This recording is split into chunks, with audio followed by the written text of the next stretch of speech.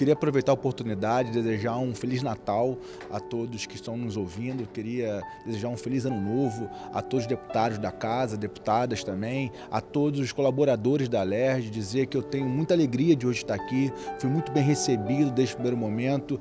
Quero saudar aqui também o presidente Rodrigo Barcelar, que tem me atendido, me dando atenção, me orientando, porque como eu bem falei, eu sou um deputado do primeiro mandato, então a gente precisa dessa orientação. Quero muito agradecer a todos os amigos deputados e deputadas. E eu queria deixar aqui uma mensagem de Feliz Natal, Feliz Ano Novo para todos vocês da LERJ, a todos que estão nos assistindo e que Deus abençoe a vida de vocês. Eu não tenho dúvida que 2024 vai ser um ano de muita paz, muita bênção para nossas vidas.